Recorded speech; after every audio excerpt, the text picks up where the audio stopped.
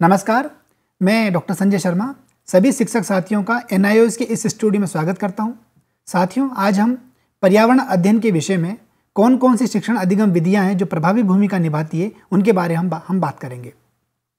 इन विधियों के बारे में जानने से पूर्व हम ये समझने का प्रयास करेंगे कि आखिर सीखना किसे कहते हैं? सीखना किस प्रकार संभव बन पाता है? और ख़ास तौर पर छोटी कक्षाओं में पर्यावरण का अध्ययन क्यों ज़रूरी है? क्यों? क्योंकि आज हमारी जो बातचीत है, वो उस विषय के बारे में जो महत्वपूर्ण गतिविधियाँ हैं, जो महत्वपूर्ण शिक्षण अधिगम विधियाँ हैं, उनको सुनिश्चित करने की की तरफ़ है। तो निश्चित रूप से हमें जानना, समझना होगा कि आखिर हम पर्यावरण अध्ययन क्यों करना चाहते हैं। और इन विधियों को सुनिश्चित कैसे किया जाए? एक शिक्षक होने के नाते उस विषय वस्तु के आधार पर हम कैसे चयन करें कि कौन सी विधियाँ बेहतर हो सकती हैं? साथ ही साथ इन विधियों के चयन में और इन विधियों के को अपनी कक्षा में इस्तेमाल करने में एक शिक्षक की भूमिका किस प्रकार की होती है, इसके बारे में हम आज की बात में चर्चा करेंगे। सबसे पहले हम ये जानना है कि सीखना किसे कहते हैं। जैसा कि आप सब लोग जानते हैं कि सीखना एक ऐसी प्रक्रिया है जिसके द्वारा व्यक्ति के व्यवहार में कुछ खास तरह के हम बदलाव करना चाहते हैं। जब व्यक्ति के व्यवहार में ये बदलाव हो जाते हैं तो हम ये कह सकते हैं कि वह व्यक्ति सीखने की प्रक्रिया में है। अक्सर ये बदलाव स्थायी होते हैं और इन बदलावों के माध्यम से, इन परिवर्तनों के माध्यम से व्यक्ति अपने जीवन में कुछ खास तरह के लक्ष्य जो उसने निर्धारित किए हैं, उसकी प्राप्ति करता है। सीखना एक प्रकार से एक सुविचारित प्रक्रिया है, एक योजनाबद्ध प्रक्रिया है। किसी न किसी योजना के साथ वो आगे बढ़ रही होती है और इसमें मानसिक स्थिति भी काम करती है। बच्चे का संज्ञानात्मक का जो जो व्यवस्था है वो भी उस सीखने की प्रक्रिया का हिस्सा बन रही होती है। इस प्रकार सीखने वाले की भूमिका या बच्चे की भूमिका एक सक्रिय, संचेतन और एक उत्प्रेरक की होती है, जिसमें वह सीख रहा होता है। अतः सीखना अक्सर ये माना जाता है कि एक संदर्भ सापेक्ष प्रक्रिया है। आइए हम इस पर बात करें कि आखिर बच्चे सीखते कैसे हैं। बच्चे, हमारी कक्षाओं में आप सब लोग देखते हैं कि बच्चे नकल करके सीखते हैं, अपने द्वारा किए गए कार्य को खुद दोहराते हैं किसी और के द्वारा किए गए कार्य को भी दोहरा कर वो सीखते हैं। गलतियाँ करके सीखते हैं, अभ्यास एवं त्रुटि के नियम से वो सीखते हैं। बच्चे देखकर भी सीखते हैं और अवलोकन करके एक नए व्यवहार का निर्माण कर रहे होते हैं। बच्चे अपने अनुभवों के द्वारा भी सीखते हैं और ये अनुभव बच्चे के, जो कि यह माना जाता है कि सभी प्रकार के अनुभव बच्चों के संवेदी अंगों की सहायता से मज़बूत बनते हैं। इन अंगों की सहायता से, इन अंगों के विकास और कौशल से बच्चे सीख रहे होते हैं। पर्यावरण अध्ययन में एक शिक्षक होने के नाते हम कई प्रकार की विधियों का चयन करते हैं। पर इन विधियों के चयन से पूर्व कुछ बातें जो हमें जानना चाहिए, एक शिक्षक होने के नाते कुछ बातें बहुत महत्वपूर्ण हैं। आइए हम इस पर चर्चा करें। एक शिक्षक होने के नाते ये हमें समझना चाहिए कि जो भी विद्यार्थी हमारे पास आता है, जो भी विद्यार्थी हमारे स्कूल में आ रहा है, हमारी कक्षा में बैठा है, उसके पास एक समृद्ध ज्ञान भंडार है। उसके पास अपने परिवार से, अपने समाज से, अपने आस पड़ोस से एक एक प्रकार का जो अनुभव उसने अर्जित किया है, उन सबको लेकर वो हमारी कक्षा में आ रहा होता है। हमें मानना चाहिए कि सभी बच्चे स्वभाव से जिज्ञासु होते हैं, कुछ ना कुछ जानना चाहते हैं, कुछ ना कुछ करना उत्सुकता होती है उनको उनको कुछ ना कुछ करने की। सभी बच्चों में सीखने का सामर्थ्य होता है, हम ये भी जानें कि किसी में कम या किसी में ज़्यादा हो सकता है, पर सीखना सब चाहते हैं। और जो सबसे महत्वपूर्ण बात है, और ये बात हमारे पर्यावरण अध्ययन के विषय से भी जुड़ती है। वो ये कि बच्चे अपने परिवेश से, अपने आसपास के माहौल से एक बेहतर प्रकार से सीख पाते हैं। और इन सबको सीखने को ही हमें एक शिक्षक होने के नाते संवेदनशील होते हुए समझना होगा। सीखने से जो अभिप्राय है वो ये कि बच्चों के जो अनुभव हैं, यदि बच्चा अपने अनुभवों को दोहराता है, उन अनुभवों पर प्रयोग करता है, उन प्रयोगों के आधार पर या अपने अनुभवों के आधार पर वो बातचीत करना चाहता है उन पर सवाल खड़े करता है, अपने साथियों से चर्चा करता है, सोचता है और खुद से करके देखता है तो निश्चित रूप से ये गतिविधि या ये पूरा का पूरा जो कार्यक्रम है, वो सीखने की तरफ़ बढ़ रहा होगा। आप अपनी कक्षा में इस प्रकार ये अनुमान लगा सकते हैं कि बच्चे सीखने की स्थिति में हैं, सीखने के लिए तैयार हैं। एक शिक्षक की ये बड़ी ज़िम्मेदारी बन जाती है कि वह अपने बच्चों को अपनी कक्षा में सीखने का मौका दे सीखने के अवसर दे और सीखने के लिए जो ज़रूरी माहौल है वो बनाए। उसका निर्माण करना एक शिक्षक के लिए बहुत ज़रूरी होता है। हम ये मानकर चलें कि हमारी कक्षा में की जाने वाली सभी गतिविधियों के केंद्र में बच्चे हों। क्यों? क्योंकि सभी गतिविधियाँ बच्चों के लिए होती है। सभी प्रकार के क्रियाकलाप उस कक्षा में जो आप करने जा रहे हैं, जिनके लिए आप तैयार हैं, वो सब बच्चों के लिए किए जाते हैं। यदि हम ऐसा करते हैं तो निश्चित रूप से हम, हमारी कक्षा को एक बाल केंद्रित कक्षा के रूप में आगे बढ़ा रहे होंगे। गतिविधि अपने आप में सीखना है। यदि आपकी कक्षा में कोई गतिविधि हो रही है तो गतिविधि की प्रक्रिया ही बच्चों को सिखा रही होगी। गतिविधि का परिणाम वो एक अलग स्थिति है। गतिविधि का परिणाम सिखाएगा ही, परंतु गतिविधि करना ही अपने आप में सीखना है। बच्चे यदि सहयोग करके उस गतिविधि में जुड़ रहे हैं, बच्चे भागीदारी कर रहे हैं तो ये एक प्रकार का सीखना ही है। आइए, अब हम इस पर चर्चा करें कि जिसके विषय में हम लोग बात करने जा रहे हैं कि आखिर हम पर्यावरण का अध्ययन क्यों करते हैं? जब हमने एक बार सीखा कि सीखना क्या होता है, सीखना कैसे संभव बनता है, अब हम ये समझना है क्योंकि आज की बातचीत इस बारे में है कि पर्यावरण अध्ययन के विषय में कौन कौन सी ऐसी शिक्षण अधिगम प्रक्रिया हैं जो एक शिक्षक को अपनानी चाहिए अपनी कक्षा को बेहतर बनाने के लिए। पर्यावरण अध्ययन मूलतः बच्चे के परिवेश को समझने का प्रयास है और इसके आधार पर हम ये कह सकते हैं कि ये उसके सीखने की पहली पाठशाला है। यहाँ पर जो बच्चा है, वो अपने प्राकृतिक सामाजिक एवं सांस्कृतिक परिवेश को समझ पाता है, वो उससे सीखता है। परिवेश की घटनाओं के बीच वह कार्य कारण संबंध को खोज पाता है कि ये घटनाएँ क्यों हुई। बारिश का, गर्मी के साथ क्या रिश्ता है? पानी के साथ क्या रिश्ता है? पानी और खाद बीज का पेड़ पौधों के विकास के साथ क्या रिश्ता है? और इन सब घटनाओं को जब वो देखता है या करता है तो निश्चित रूप से उसमें एक वैज्ञानिक नज़रिया विकसित हो रहा होता है। ये वैज्ञानिक नज़रिया एक प्रकार से या वैज्ञानिक तरीका एक प्रकार से उसके अंदर एक सजग होने की स्थिति उत्पन्न करता है जो उसके पर्यावरण से आती है। पर्यावरण का अध्ययन छोटी कक्षाओं में खास तौर पर इस बात को भी बताता है कि पर्यावरण के घटक या पर्यावरण जिनसे बनता है और सामाजिक घटनाओं के बीच एक अंतर संबंध है। कुछ खास तरह का भूगोल, कुछ खास तरह के रहन सहन को प्रभावित करता है। रेगिस्तान में रहने वाले प्राणी पहाड़ी इलाकों में रहने वाले प्राणी या वहाँ की खास तरह की वनस्पति, खास तरह के जीवन संबंध, वहाँ का रहन सहन खान पान ये मोटे तौर पर यह माना जाता है कि उस भूगोल के साथ रिश्ता बनाता है। तो पर्यावरण को समझकर हम मानवीय समाज को समझ रहे होते हैं। मानवीय समाज के विचार और उनकी परंपराओं को जान रहे होते हैं। इस इस आधार पर हम कह सकते हैं कि पर्यावरण का अध्ययन बच्चे को अपने पड़ोस के बारे में बताता है, अपने खान पान के बारे में बताता है, अपने इतिहास के बारे में बहुत कराता है भाषाओं के बारे में बात करता है उसके बस्ती में उसके गाँव में होने वाली कृषि के बारे में बताता है और इस कृषि का व्यापार के साथ क्या रिश्ता है वो इसको भी समझाता है। और इन सब के आधार पर वो यातायात उद्योग धंधे या उसके आ, उसके आ, उसके आगे की स्थितियों को समझ रहा होता है।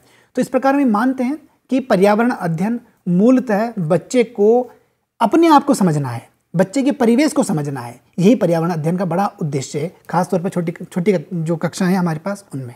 पर्यावरण अध्ययन अपने आप में ही जीवन जीना है। जैसा कि हम मानते हैं कि पर्यावरण अध्ययन जो है, वो सह अस्तित्व सिखाएगा सह अस्तित्व के बारे में बात करेगा।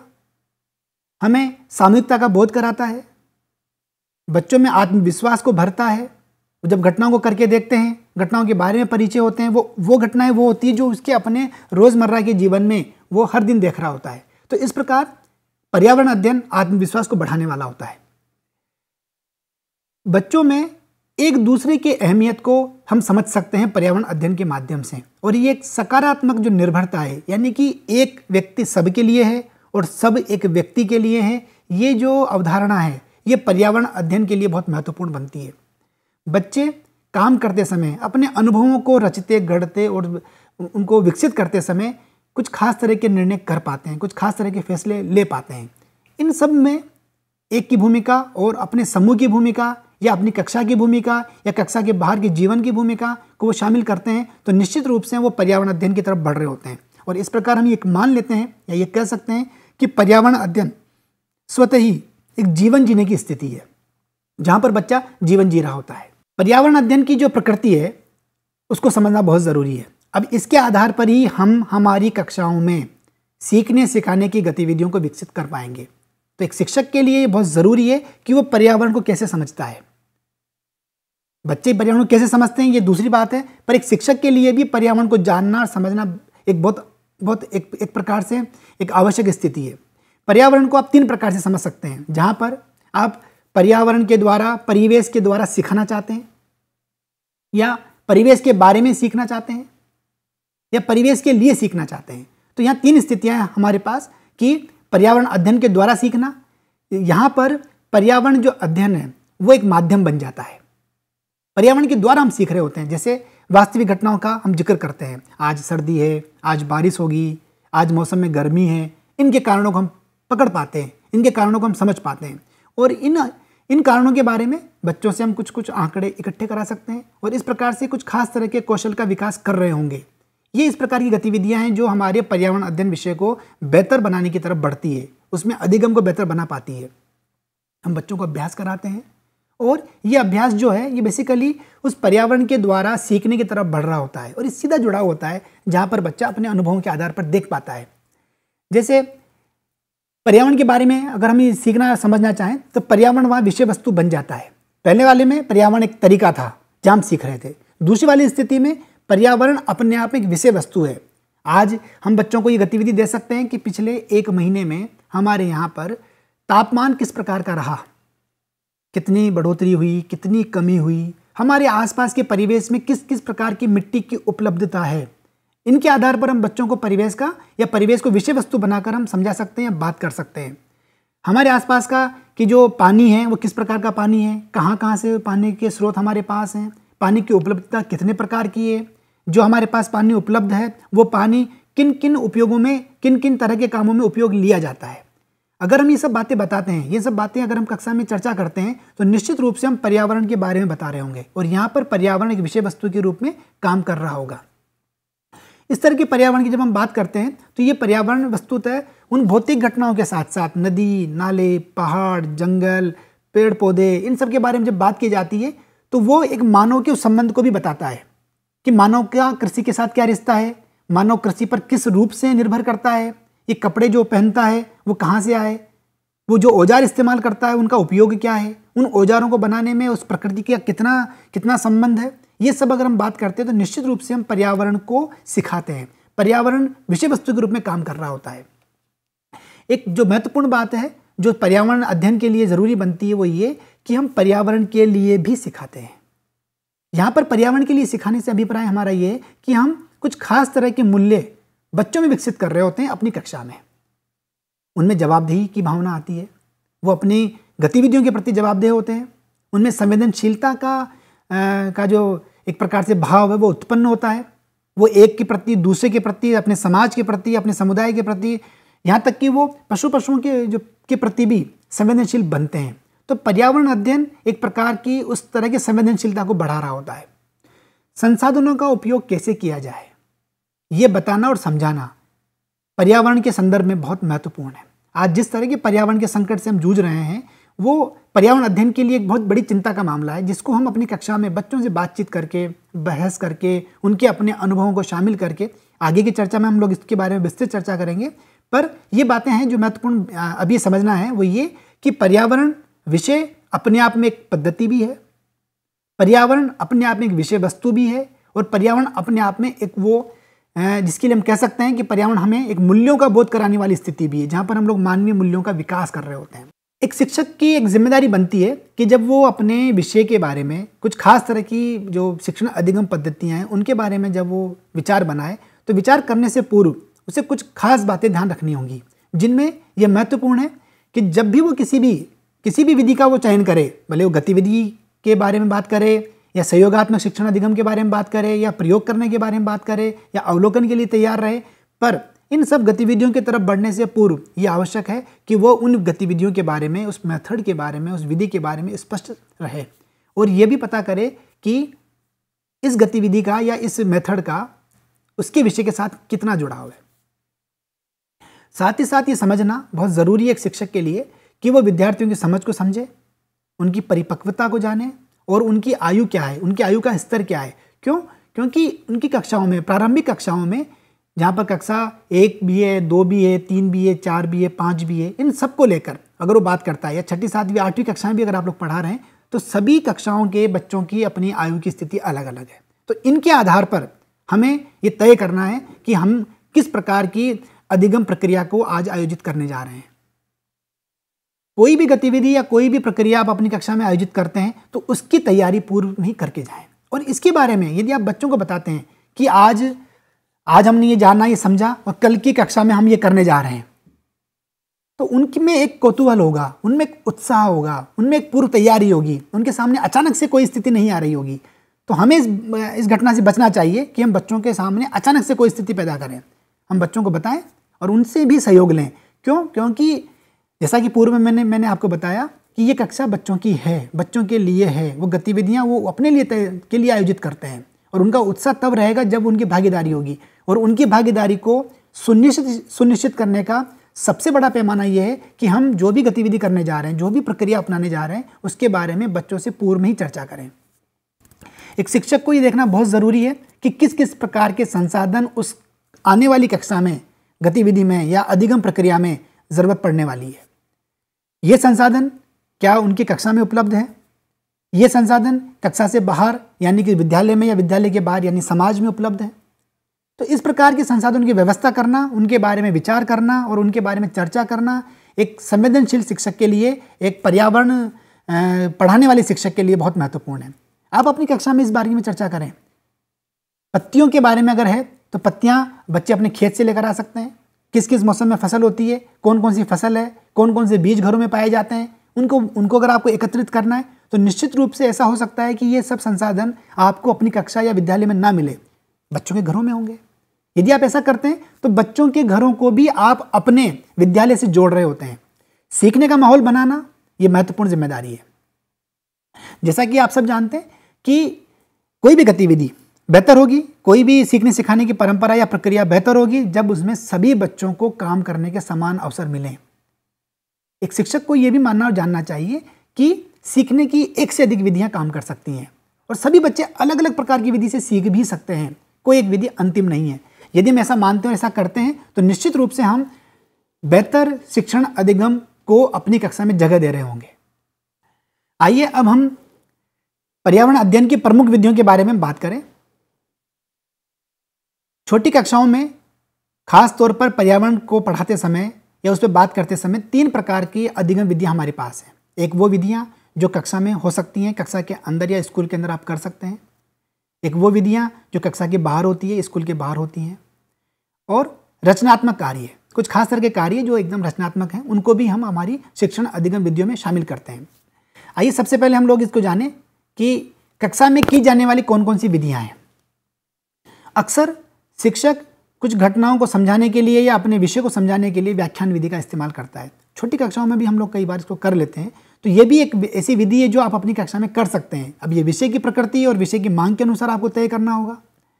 मानचित्र निर्माण करना, बच्चों से नक्शे बनाना, बच्चों से उनके स्कूल के बारे में, घर के बारे में, उनके बाज़ार के बारे में, उनके मोहल्ले या बस्ती के बारे में कि विद्यालय कितना दूर है, उनके दोस्तों का घर, उनके जो जो उनके अपने मित्र हैं, उनका घर विद्यालय से और उनके घर से हैं। कितना दूर है? और वो किन रास्तों से जाते हैं? आप ये भी गतिविधि बच्चों को दे सकते हैं, या मानचित्र निर्माण के कौशल का विकास कर सकते हैं, कि आप आप घर से जब स्कूल आते हैं तो रास्ते में किन किन के घर होते हैं? कौन कौन से प्रमुख महत्वपूर्ण स्थल आप देखते हुए आते हैं? आइए हम इनका मानचित्र बनाते हैं। भले वो मानचित्र पैमाने पर ना हो, भले वो मानचित्र बहुत सटीक ना बने, पर एक प्रकार से आप मानचित्र निर्माण के कौशल का बच्चों में विकास कर सकते हैं। बच्चों को समूह में बनाकर अपनी कक्षा में आप चर्चा कर सकते हैं। हमारे मोहल्ले में कौन कौन सी मौसमी बीमारियाँ होने की संभावना है, ये मौसमी बीमारियाँ क्यों हो रही है, इन मौसमी बीमारियों को कैसे रोका जा सकता है, इनके हमारे पास क्या विकल्प हैं, इन विकल्पों पर चर्चा बच्चे बखूबी करेंगे। यदि आप उन्हें चर्चा का अवसर देते हैं अपनी कक्षा में तो ये भी कक्षा के अंदर की जाने वाली गतिविधि है। इस प्रकार से पर्यावरण अध्ययन के बारे में हम बात कर सकते हैं। पाठों के जो अंदर प्रश्न उत्तर दिए जाते हैं, या प्रश्न जो दिए जाते हैं, उनके उत्तर भी आप बच्चों से माध्यम से जानकर आप बात कर सकते हैं। बच्चों के पास अपने खुद प्रश्न होते हैं। उन प्रश्नों से भी आप अपनी कक्षा को आगे बढ़ा सकते हैं, और एक प्रश्नोत्तर विधि भी एक छोटी कक्षाओं में खास तौर पर एक बेहतर विकल्प होती है, एक रोचक तरीके से शिक्षण अधिगम करने का। ये प्रश्न बच्चों को चिंतन के लिए प्रेरित करते हैं। आप बच्चों से कुछ घटनाओं के आधार पर, जो वो बच्चे देखते हैं, अवलोकन के आधार पर, कुछ खास तरह के पोस्टर का निर्माण करा सकते हैं, चित्रकला का निर्माण करा सकते हैं, ये भी एक माध्यम है बच्चों को खास तौर पर छोटी कक्षाओं में सीखने, सिखाने का मौका देने का। कई प्रकार की गतिविधि आप कर सकते हैं, जिनमें मोटे तौर पर अवलोकन है, सवाल है, सवाल पूछकर अवलोकन के माध्यम से आप कर सकते हैं कि विद्यालय के अंदर ऐसी कौन कौन सी चीज़ें या स्थितियाँ हैं जो बहुत बड़ी हैं, छोटी हैं? उनका अपना आयतन किस प्रकार का है? सवाल कर सकते हैं, अनुमान लगा सकते हैं उनके आधार पर, उनके बीच के संबंधों को संबंधों पर बात कर सकते हैं, प्रयोग करा सकते हैं आप उन्हें, उनको कुछ खास तरह की चीज़ें दिखा सकते हैं। आप ये भी कर सकते हैं कि जल की कौन कौन सी अवस्था है? जल जब जम जाता है तो बर्फ़ के रूप में आता है तो कौन सी अवस्था होगी? जल को गर्म करने पर किस प्रकार की अवस्था में वो तब्दील हो जाता है? जल की मौजूदा अवस्था कौन सी है? इन पर हम चर्चा कर सकते हैं। तो ये कक्षा में की जाने वाली गतिविधियाँ हैं। कुछ गतिविधियाँ हैं जो कक्षा के बाहर होती हैं, जिनके बारे में हम बड़े कौतूहल से बच्चे करना और समझना चाहते हैं, जैसे घूमना, अवलोकन करने के साथ साथ और बाहर जाकर आंकड़े एकत्रित करना। आप उन्हें काम दे सकते हैं कि उनकी बस्ती का जो प्रमुख बाज़ार है, उनके गाँव का जो मुख्य जो मुख्य बाज़ार है, वहाँ इस मौसम इस, किस मौसम में किस प्रकार की सामग्री बिकने को आती है? उसकी बिक्री के लिए कौन कौन से केंद्र होते हैं? वो सामान कहाँ से आ रहे हैं? ऐसे कौन से सामान है जो गाँव में ही उत्पा, उत्पादित होते हैं? ऐसे कौन सी सामग्री है जो गाँव से बाहर से आती है? मशीनें कहाँ से आती है? उनके यहाँ पर कोई और सामान है? अनाज कहाँ से आता है? सब्ज़ियाँ कहाँ से आ रही है? दूध कहाँ से आता है? इन सब के बारे में हम बात कर सकते हैं। आंकड़ों का संग्रहण करा के उनका मूल्यांकन कर सकते हैं। कुछ सर्वे भी आप बच्चों से करा सकते हैं। इस मौसम में कौन सी फ़सल पैदा होती है? इस फ़सल को लोग, या किसान बेचने कहाँ जाते हैं? उनके बाज़ार में किस प्रकार की फ़सलों की आवक सबसे ज़्यादा है? ये बातचीत कर सकते हैं। अपने घर में बच्चे बातचीत करते हैं तो उस बातचीत के आधार पर आप बस्ती के लोगों से बातचीत करने के लिए उनको उनको बढ़ा सकते हैं। किसानों से बात करने के लिए आप उन्हें भेज सकते हैं। कारीगर से बात करने के लिए भेज सकते हैं। उन बच्चों से आप अपने, उनकी बस्ती और गाँव के स्वास्थ्य के बारे में चर्चा कर सकते हैं। ये तमाम वो बातें जो आप उन्हें कक्षा से बाहर करके दिखाते हैं तो बच्चे बड़ी उत्सुकता से भाग लेंगे। और ये भी पर्यावरण अध्ययन की एक मज़बूत विधि है। अवलोकन करना, खोज करना, इसके लिए हमें प्रेरित करना बहुत इंपॉर्टेंट होता है। बहुत महत्वपूर्ण बात है हमारे लिए। बच्चों को आप खुद भी कुछ घटनाओं के आधार पर बाहर भी प्रदर्शन करके दिखा सकते हैं। खेल विधि, बच्चों के लिए बहुत रोचक विधि है। तो ये तमाम विधियाँ वो हैं जो कक्षा के बाहर की जाने वाली विधियाँ हैं और इन विधियों में बच्चे महत्वपूर्ण भूमिका निभा रहे होते हैं।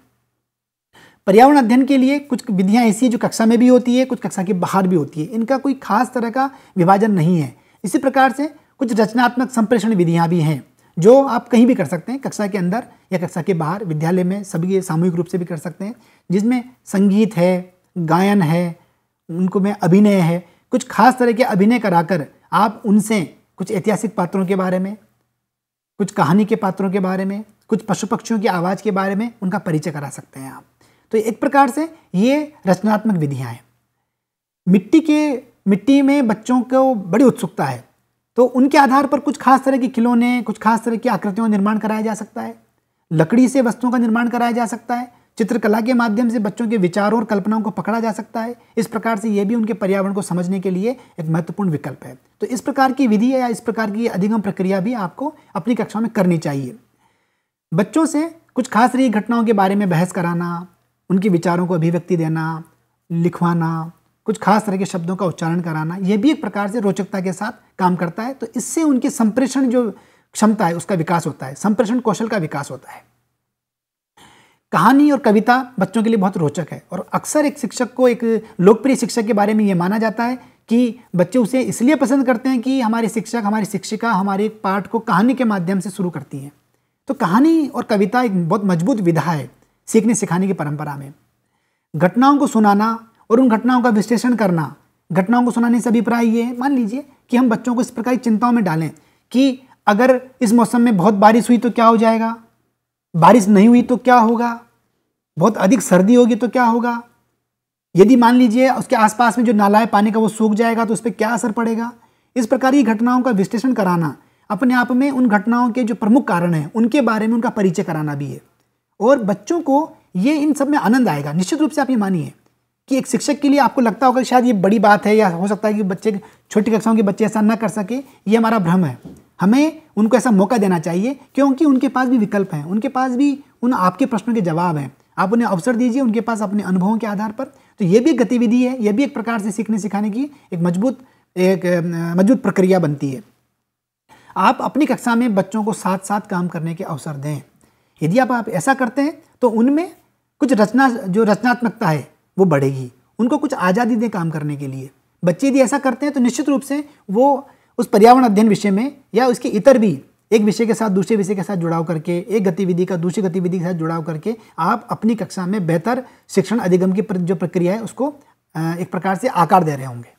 एक शिक्षक के लिए ये बहुत महत्वपूर्ण बन जाता है कि जब भी वो किसी भी गतिविधि का का, की आयोजना करने वाला हो या उसके बारे में तैयारी करने वाला हो तो निश्चित रूप से वो योजना का निर्माण करे।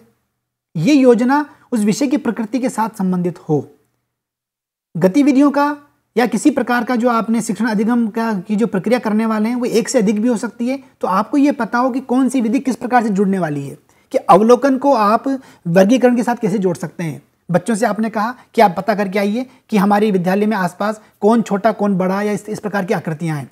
तो इन आकृतियों के माध्यम से आप उन्हें एक प्रकार से गणित विषय भी पढ़ा रहे होंगे एक प्रकार से आप उन्हें छोटे और बड़े का अनुमान करा रहे होंगे एक आयतन की जो बड़ी अवधारणा है, उसके बारे में बता रहे होंगे। तो ऐसा करके आप कई प्रकार की विधियों का अवलोकन के साथ, मूल्यांकन का, मापन का, इनका उपयोग कर सकते हैं। तो एक विधि का, दूसरी विधि के साथ समेकन एक शिक्षक के लिए बहुत ज़रूरी होता है। हमें ये समझना होगा कि हम कोई भी ये बड़ी चुनौतीपूर्ण कार्य है कि हम बच्चों की रुचि, उनकी भागीदारी और उनकी आज़ादी के साथ अपनी कक्षा में उन स्थानों को बरकरार रखें, जहाँ पर बच्चे उत्सुकतापूर्वक भाग ले सकें। और ये तब संभव होगा जब हमारी उस पूरी गतिविधि में बच्चों की भी भागीदारी होगी। हमारी पूरी प्रक्रियाओं में बच्चे भी भाग लेंगे। बच्चों को लगेगा कि कक्षा उनके लिए है और आज सीखने सिखाने की जो बातचीत है वो उन्होंने खुद ने तैयार की है। शिक्षक सिर्फ़ और सिर्फ़ उन्हें संसाधन मुहैया कराने वाला है। शिक्षक सिर्फ़ उन्हें बताने वाले हैं कि कैसे करना है। शिक्षक की भूमिका सिर्फ़ इतनी ही है, एक साथी के रूप में है। तो यदि अगर आप ऐसा कर पाते हैं तो निश्चित रूप से आप अपनी पर्यावरण की कक्षा में, छोटी कक्षाओं में खास तौर पर, आप बेहतर सीखने सिखाने की जो परंपरा है, उसको विकसित कर रहे होंगे। एक शिक्षक को उपलब्ध संसाधनों के बारे में पता होना चाहिए। और जब आप ऐसा करते हैं तो आप अपनी किसी भी गतिविधि में, अपनी किसी भी प्रक्रिया में जो संसाधनों की आवश्यकता होती है, आप उनका भरपूर इस्तेमाल कर पाएँगे। आप तीलियों के माध्यम से, लकड़ी के माध्यम से, या तमाम तरह की जो आसपास की मिट्टी, पत्थर, या और भी तमाम तरह की चीज़ें आपके विद्यालय में हैं, विद्यालय की दीवार का भी आप इस्तेमाल कर सकते हैं। इन सब का इस्तेमाल करके आप बेहतर शिक्षण अधिगम के लिए काम कर रहे होंगे। इन विधियों के साथ साथ ये भी महत्वपूर्ण है कि एक आपकी कक्षा में एक लोकतांत्रिक माहौल हो। किसने सीखा के बजाय आप इस बात पर ज़ोर दें, क्या और कैसे सीखा जाता है? एक दूसरे को प्रोत्साहित करने का माहौल हो। सभी के विचार और उनके नज़रिए को समझा जाए और आपकी कक्षा में प्रतिस्पर्धा का माहौल न रहे। यदि आप ऐसा करते हैं तो आपकी विधियाँ और आपका ये तरीका दोनों मिलकर उस पर्यावरण अध्ययन विषय को बहुत रोचक बना रहा होगा। बच्चों की भाषा को महत्व देंगे, उनको सम्मान मिलेगा तो उनकी भागीदारी बढ़ रही होगी। बच्चे इस बात से न डरें कि वो असफल हो जाएँगे या बेहतर परिणाम न दे पाएँगे, उनको सजा नहीं मिलेगी। तो अगर इस तरह की व्यवस्था स्कूल में होती है या अपनी कक्षा में आप बनाते हैं तो निश्चित रूप से बच्चों की भागीदारी बढ़ेगी। आपको एक शिक्षक की शिक्षक के नाते न खड़े होकर एक साथी के रूप में खड़े होना है और एक ऐसा वातावरण बनाना है जहाँ पर बच्चों को सवाल पूछने की आज़ादी हो भय मुक्त वातावरण हो और ये तब संभव होगा जब बच्चे आपसे अपनेपन के साथ बात करेंगे और ये अपनापन तब होगा जब आप उनको के नाम से बुलाएँ। ये बहुत अच्छी बात मानी जाती है कि आप बच्चे, एक शिक्षक, सभी बच्चों का नाम जानता है और नाम से आप उन्हें संबोधित करते हैं। बच्चों को खुद से काम करने के अवसर दें। उनमें रचना धर्मिता का विकास होगा। उनके अनुभवों को कक्षा में जोड़ें। उनकी बातों को आप ध्यानपूर्वक सुने और उन्हें अपने ज्ञान का निर्माण करने का अवसर दें और वो खुद फैसला लेना, ले पाएँ। यदि आप ऐसा करते हैं तो निश्चित रूप से आपकी कक्षा बेहतर भागीदारी वाली होगी। आपके पास जो भी सीखने सिखाने के जो तरीके हैं, उपागम है, वो उस विषय के साथ बेहतर रूप से जुड़ रहे होंगे। एक आपकी भूमिका के बारे में अंत में हम ये कह सकते हैं कि आप एक योजनाकार हैं। आप अपनी कक्षा में संगठन के रूप में काम कर रहे हैं। उनको संसाधन मुहैया कराते हैं। बच्चों को आप अपनी कक्षा में बोलने का, उनको भागीदारी बढ़ाने का मौका देते हैं और आप खुद अपनी भूमिका को ये मानकर चलते हैं कि आप भी एक सक्रिय अधिगमकर्ता के रूप में हैं। तो निश्चित रूप से आपके द्वारा की जाने वाली किसी भी प्रकार का शिक्षण अधिगम प्रक्रिया उस विषय के साथ, रोचकता के साथ जुड़ेगी, उसे प्रभावी बनाएगी और उसके परिणाम बहुत सकारात्मक होंगे, बहुत उत्साही होंगे और बच्चे उनमें बहुत कुछ सृजन कर पाएँगे और अपने आप को बेहतर रूप से, बेहतर रूप से एक एक अध्यता के रूप में जोड़ पाएँगे और आप एक निश्चित रूप से लोकप्रिय शिक्षक के रूप में, एक बेहतर पढ़ाने वाले शिक्षक के रूप में और उस विषय को बेहतर समझने वाले शिक्षक के रूप में जाने और पहचाने जाएँगे। धन्यवाद।